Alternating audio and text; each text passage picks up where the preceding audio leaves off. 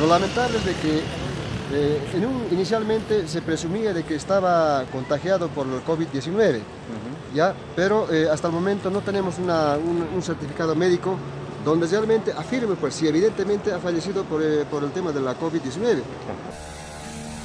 A 24 horas del fallecimiento de un cooperativista minero de La Paz, la dirigencia de Fede Comín exige a las autoridades de gobierno y salud agilizar el certificado médico forense para conocer de manera oficial las causas de esa muerte. Claro, porque hasta el momento únicamente lo único que se ha hecho es presumir, solamente son presunciones.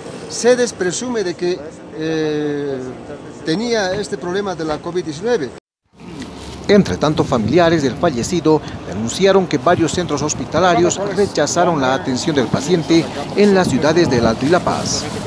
Ha fallecido posiblemente con el COVID-19 con la finalidad de que no haya ningún contagio a ninguna, a ninguna persona.